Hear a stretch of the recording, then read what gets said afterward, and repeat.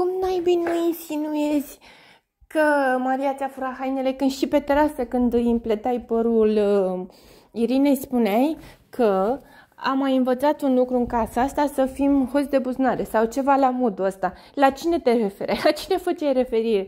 Deci am văzut filmulețul postat pe grupuri. Vă rog din suflet să-l trimiteți producției și să se spună cum naibii nu insinuezi că ai făcut, uh, că o faci furăcioasă când de fapt tu și pe terasă despre asta vorbești.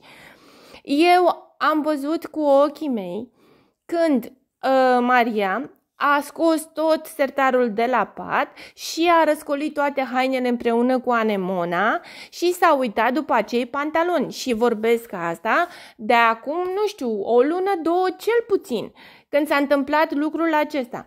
Au mai vorbit fetele. Anemona a căutat în același timp, după ce a căutat la Maria, s-a mai dus o dată la sertarul ei. Maria îi spunea, uite-te, am și rafturi aici la pat, am și șifonierul uite-te, te rog, peste tot, eu te ajut, dar nu sunt la mine. Și mi-a ridicat asta la fileu când i-a spus Mariei că în schimbul pantalonilor aceea pe care nu îi găsește, i-am dat 3-4 perechi de pantaloni pentru că nu veneau. Eu țin minte clar că Anemona se plângea că nu o mai încap nu știu ce haine pentru că s-a îngreșat foarte mult în această competiție și Maria îi spunea, băi, te uiți la mine și îți alegi tot ce vrei, um, pentru că mie îmi sunt mici, iar ție ți-ar veni foarte bine. Deci eu am auzit cu urechile mele treaba asta și cred că nu sunt două, trei săptămâni de atunci. Și Maria a spus să-și aleagă tot ce vrea de la ea, pentru că nu încap hainele...